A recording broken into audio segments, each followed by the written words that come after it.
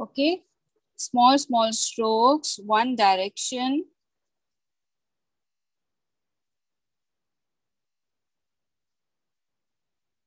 Very carefully and you have to do the light coloring.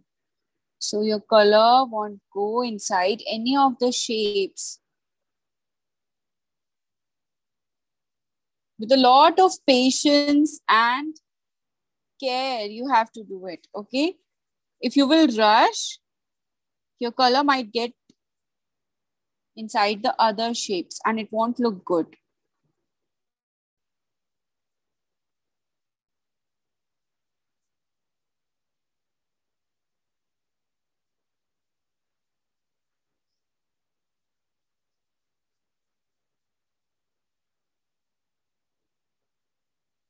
Okay.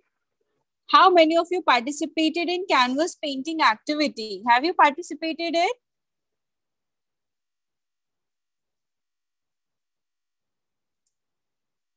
How many of you have participated in canvas painting activity? Is there anyone who has created the canvas painting?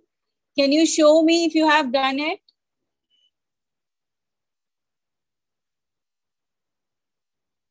Can you all show me the artwork? Students, what you have done, show me your artwork. And bring it close to the screen. Everyone, lift it up.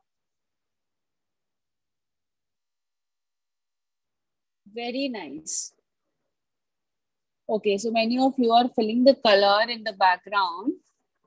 It's looking beautiful. Manan, show me your artwork.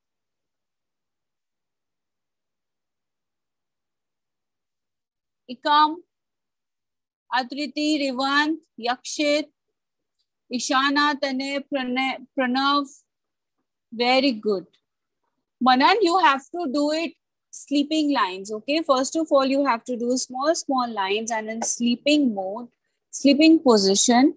Okay, don't do vertical and random lines. It will spoil the look. Very good. Very nice. So you all have done amazing work. How many of you enjoyed making this kite? Did you find it easy? You know how you can decorate it. How you can how can you decorate it further? You can make even more kites. You can make a sun, Hannah. You can make a rainbow, a rainbow at the back. So there are so many ways to decorate this kite.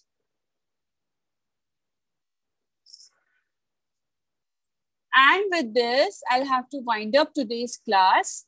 How many of you enjoyed making this? Okay. So we'll meet in next class. Bye-bye.